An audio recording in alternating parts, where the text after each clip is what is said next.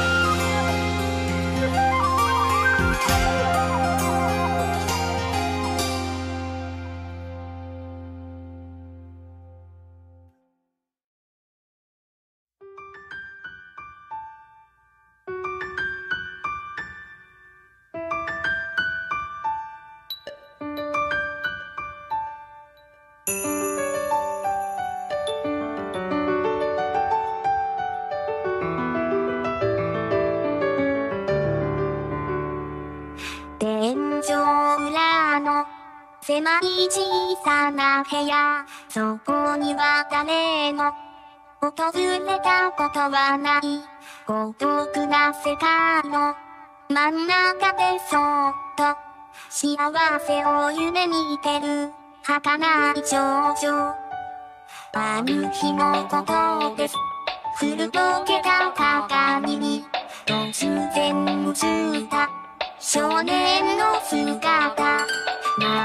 スカリードなのかその人は私にそっくりな笑顔で笑う。回り始め